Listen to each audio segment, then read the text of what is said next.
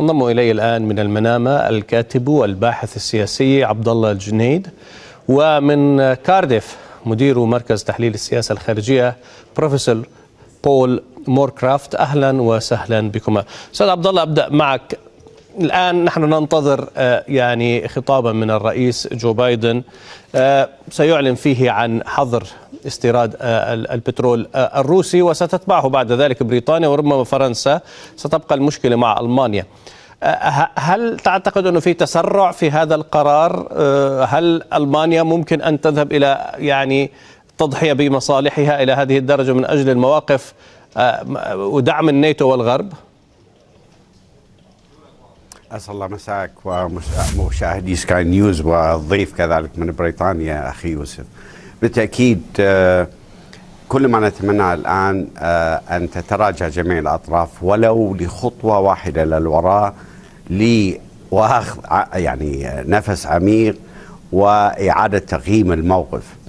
بالتأكيد عملية وضع صادرات النفط الروسية ضمن قائمة العقوبات من قبل الولايات المتحدة وحلفائها الأوروبيين في الناتو سوف تكون سابقة تصعيدية قد تؤدي إلى عملية تصعيدية أخرى أو تهديد بشكل آخر. عملية حجب الصادرات الروسية عبر العقوبات أو بقرار روسي سوف يؤدي إلى نفس النتيجة. هل سوف تقبل الأسواق أو الاقتصاد الدولي وهو في حالة تعافي أن تصل أسعار النفط إلى ما يتجاوز أو ما يقارب ال 200 دولار أعتقد أن ذلك صعب. ما نتمناه هو عملية التريث وربما البحث عن مراحل يعني مخارج ولو مرحلية. طيب أه سأذهب إلى بروفيسور بول أه هناك ما رأيك يعني في تسرع فعلا أمريكي؟ هل جاء القرار الأمريكي هذا من أجل دعم الرئيس زيلينسكي الذي يعني بالأمس عبر عن انزعاجه الشديد من الغرب ومن الناتو الذي يعتبر أنه خذله وبدأ يتحدث عن أنه لم يعد لي رغبة في الدخول إلى الناتو وبالتالي بدات تحقيق المصالح والمطالب الروسية. فهل جاءت هذه الخطوة لدعم زيلينسكي حتى يثبت على موقفه أم هي خطوة مدروسة؟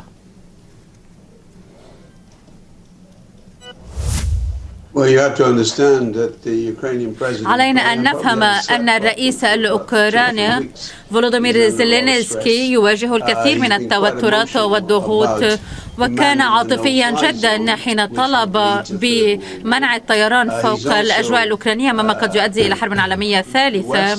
ونعرف أن الغرب يقترب أكثر وأكثر من تخطي الخطوط الأحمر. إذا سمحت لبولندا بتوفير طائرات عسكرية إلى أوكرانيا بالتالي على الغرب أن يتخذ خطوة فيما يتعلق بقطاع النفط والغاز. وأعتقد أعتقد أن ألمانيا التي تعتمد على 40% من النفط والغاز الروسيين في بريطانيا تعتمد على 25% فقط مما أدى إلى ارتفاع في الأسعار ولكن لا أعتقد أنها مجرد حجة ولكن أعتقد أنه تصعيد مهم جدا. فالشركات النفطية الكبيرة تبعد نفسها عن روسيا ونعرف أن هناك الكثير من الشركات الكبيرة التي تغادر روسيا منها شركات Mastercard و American Express وغيرها. بالتالي ما يتبقى فعله هو هذه العلاقة المفصلية بين الغرب وروسيا. لذلك يجب قطع قطاع النفط. نعم نحن نعاني أيضا فنحن نعاني مع أوكرانيا. وأعتقد أنه سيكون هناك تداعيات اقتصادية كبيرة كما ذكر الضيف من المنام. فبعد محاولات خفيفة بالتعافي بعد انتهاء جائحة فيروس كورونا نعرف أن الحرب هي التي ستؤدي أيضا إلى تداعيات على أسواق النفط. طيب. أستاذ عبد الله الجنيد الآن واضح أنه المعركة انتقلت من المواجهة العسكرية إلى المواجهة الاقتصادية النفط في الميزان يأتي ذلك في وقت كان البعض يعني يتحدث فيه قبل أشهر فقط عن تراجع أهمية النفط الاستراتيجية، المصدرين للنفط، حتى منطقة الشرق الأوسط، الآن آه، نجد إنه آه، الشرق الأوسط زج به في هذه المعركة بسبب امتلاكه للنفط الآن. هل هل ترى في إنه تداعيات غير متوقعة لهذه الأزمة ستشمل المنطقة هنا منطقة الخليج والشرق الأوسط والدول المصدرة للنفط؟ آه للأسف نعم في حال تطورت هذه الأزمة إلى أبعاد أخرى وشهدت آه تدخل مباشر لدول الناتو في هذه ال ال الأزمة فبالتأكيد سوف تكون هناك انسكابات آه غير محسوبة آه سوف يعمد لها تعمد لها روسيا في عمليه تهديد مصادر الإمداد سواء في آسيا الوسطى في قزوين وكذلك ربما أن توعز لبعض حلفائها بالضغط على آه، قنوات مثلا الإمداد. وأنا أتكلم عن آه، مضيق هرمز مثلا عبر إيران. هذه إحدى المخاطر. آه، كذلك نجد أن هناك الجزء الآخر من هذه الكاس غير المملوءة. ففي حال دخلت يعني المملكة العربية السعودية والإمارات تملك آه، سقفا من الإنتاج قابل للتخفيف من حدة التوتر في هذا السوق. وكذلك الكويت.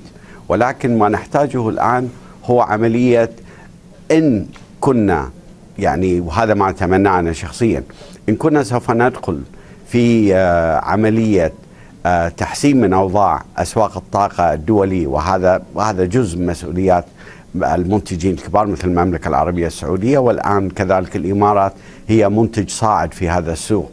يجب أن تكون هناك مفاضلات سياسية ويجب أن لا تضيع أو نضيع الفرص الاستراتيجية كما حدث في توظيف النفط من يعني تعاطفا منا مع سياسات استراتيجية أمريكية في الثمانينات ساهمت بشكل فاعل في انهيار الاتحاد السوفيتي ولم نجني نحن أي ثمار من ذلك الجهد بل دخلنا في عملية يعني تعثر اقتصادي أو بطء اقتصادي نعم. نتيجة الارتفاع ال inflation في الولايات المتحدة وأوروبا وكذلك نتيجة تعثر أو إسهام النفط في آه، تنمية الاقتصاد المحلي.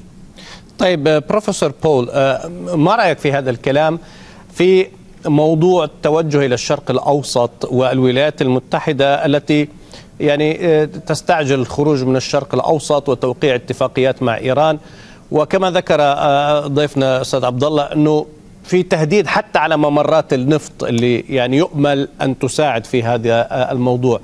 هل تعتقد أنه هذه الأزمة ممكن تؤثر على السياسة الخارجية الأمريكية؟ تجاه المنطقة منطقة الشرق الأوسط؟ أعتقد آه، أن السياسة العالمية ستتغير كثيرا ولا يتعلق الأمر بألمانيا آه، قرار واعتمادها قرار إعادة التسلح ولكن نعرف أن روسيا فسخت كل القوانين العالمية. واعذروني على أن أكون مباشرة نعرف أن الإنتاج في منطقة الخليج سيعانون أيضا. لا يتعلق الأمر بالغرب وبأوروبا. ولكن نعرف أن دول المنتجة طلب منها زيادة الإنتاج كما حصل في سبق من خلال أوبك أو من بعد توقيع على اتفاق مع إيران وسيعاني الجميع. ولكن الأمر أفضل من التوجه نحو حرب عالمية ثالثة. وفي حال كان هناك زيادة في الإنتاج على الرغم من الأسقف التي وضعتها الأوبك في السعودية والإمارات وغيرها من الدول بإمكاننا الحفاظ على أسعار النفط. ولولا ذلك سنتوصل إلى ركود عالمي كبير جدا. حاليا تعمل آه، ألمانيا والولايات المتحدة وبريطانيا على تخفيف اعتمادها على روسيا. ونعرف أيضا أن الغرب تعمل على حماية الدول العربية. فيجب آه، أن أيضا أن تخفض من مستوى معيشتها للتمكن من تكبد أسعار الوقود. وربما الدول النفطية الثرية بإمكانها مساعدة الدول الأخرى. لأنه عوضا عن ذلك نعرف أن الغرب سيتعرض لكل الضغوط.